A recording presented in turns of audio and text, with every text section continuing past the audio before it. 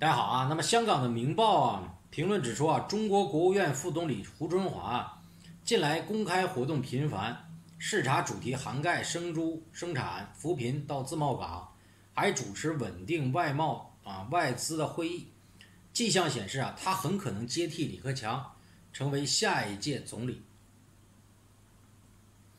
呃，香港这个《明报》大家都知道啊，这个消息来源也是比较广的。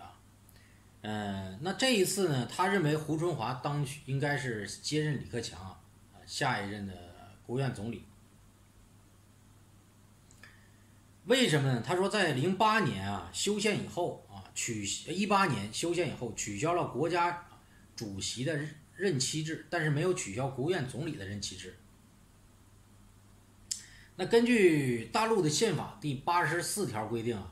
国务院总理每届啊任期同全国人民代表大会每届任期相同，呃，总理、副总理还有国务院委员连续任职不得超过两届。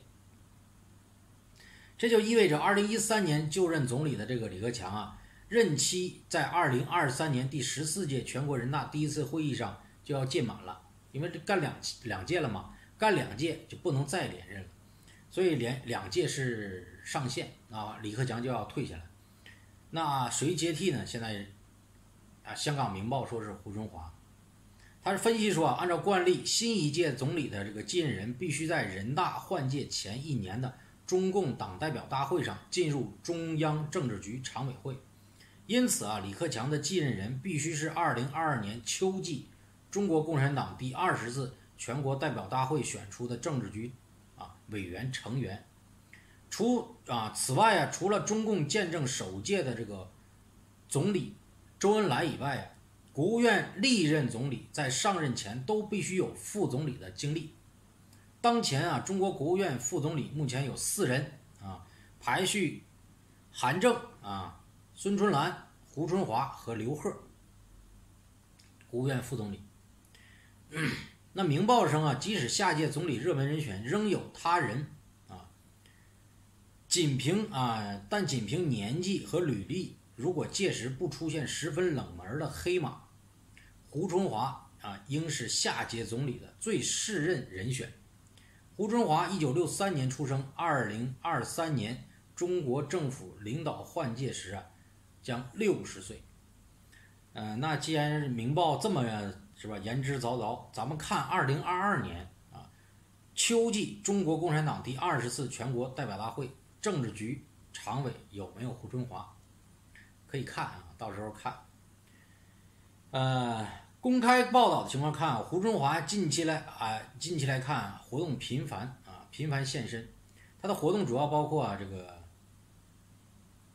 主持七次中法高别高级别财经对话。十四号主持的叫召开重点，呃省市外贸外资工作座谈会等。武汉疫情期间呢，呃，疫情啊趋势延缓，从四月到七月，胡春华先后到访中国十三个省市区，调研视察的主题涵盖扶贫攻坚、农业与畜牧生产、促进就业啊、自由港建设。他六月到陕西时啊，还曾特意到中共总书记习近平当年以知青身份落户插队的梁家河去啊。那胡春华在副总理中啊，主管农业、农村、自然资源、人力和社会保障、商务等部门。二零一八年五月，胡春华还担任国务院扶贫开发领导小组的组长，并在一九年五月成立，呃。新成立国务院就业工作领导小组，担任小组组长。全面脱贫、保就业、稳外资、稳外贸，这些啊都是中国政府今年的在经济方面重要的这执政目标。而在经历去年非洲猪瘟和今年的这个新冠疫情冲击后啊，这些攸关民生经济的施政，更是责任艰巨。也可以看出这个胡春华被委以重任。呃，香港《明报》分析啊，呃，透透过央视报道胡春华这些视察活动，可以看出啊，与2018年他上任之初的内敛表现迥然不同。近期胡春华在电视中表现的落落大方、侃侃而谈，这些变化值得留意啊。我觉得有点早啊，我告诉你有点早，二零二二年呢，他得二零二三年才能接班了。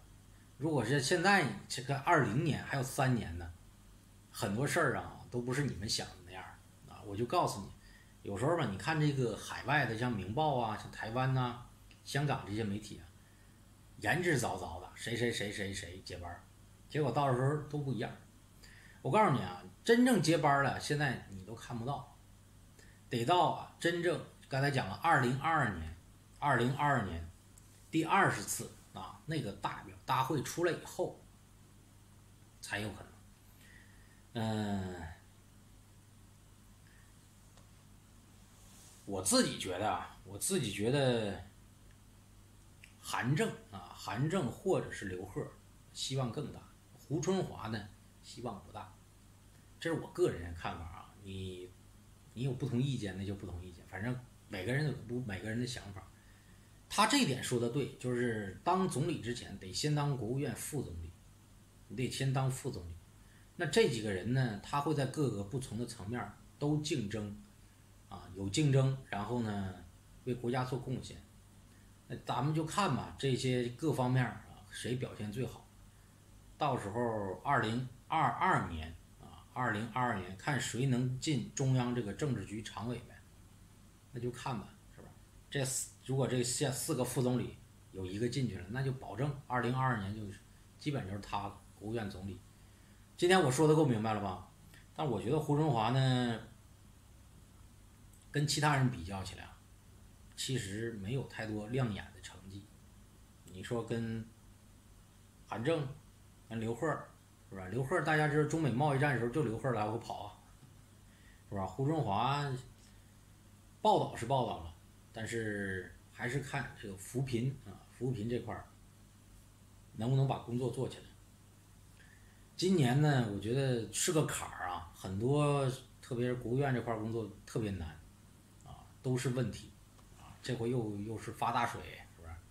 对于扶贫又是比较难的，所以还是还是看成绩。这个我觉得共产党这一点就是凭本事吃饭嘛，就是？你成绩干得好了，大家有目共睹，那你就上，所以他们之间也在竞争，对吧？各个各个抓一面儿。你说贸易这块儿，刘贺。头一年一九年的时候，跟着一起跑，对吧？中美贸易战，这大家都知道，这是特别代表的刘贺嘛，是吧？然后就是我刚才讲的这个韩正啊，什么这些人，对吧？所以大家看吧，都抓不同方向，有的抓经济的，有的抓的是这个哎对台对台工作，有的抓对美贸易贸易战，有的是抓着对内啊卫生啊防疫这块，各有不同的重点。所以就看最后，最后二零二二年啊，看谁能进入重政治局吧。我就是这么看。嗯，现在我觉得他主要现在把胡春华捧出来呀，啊，有一种捧杀，我觉得后续不好。这个时候提前三年就把这个有些事儿给说了，那我觉得最后结果肯定不可能向这个方面发展了。这之前很多东西都印证了啊，没有那么简单啊。中国事儿让你一下就看透了，也不是中国的事儿。